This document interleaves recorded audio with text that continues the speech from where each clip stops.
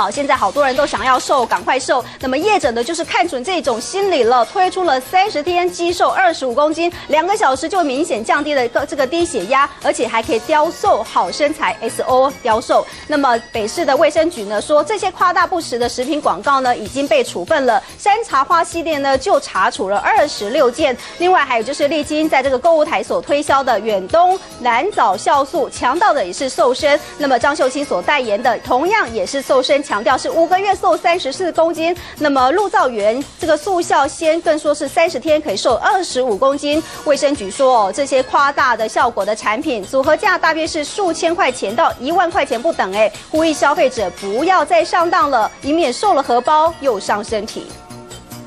艺人张秀清对着镜头捏起肥肚子，一个月前、一个月后差好多。一个月之后，我竟然瘦了十一公斤，整个人都小了一号嘞。强调减肥效果是帮知名美容专家黄玛丽在购物台卖蓝藻。主持人丽晶在节目中也大谈瘦身效果。看我手有多瘦，你看，你看纸片人，你看，真的很瘦。立即秀出纤细锁骨，甚至宣称疗效。广告被卫生局认为夸大不实，内容处罚。哦，我说真的呢，我是真的一天吃两包哎。想规避责任，业者还用 “so s o” 两个字来替代中文，卫生局至少查到违规十三次。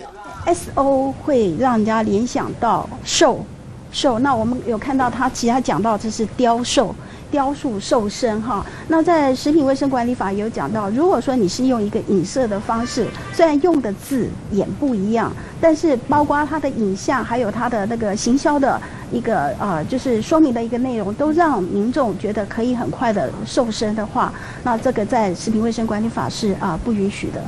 一般食品不能够宣称有减肥疗效，除非业者申请健康食品认证。广告假如被认定违规，张秀清或是丽晶恐怕也难逃连带责任。尊选白建华、郭耀琪台报道。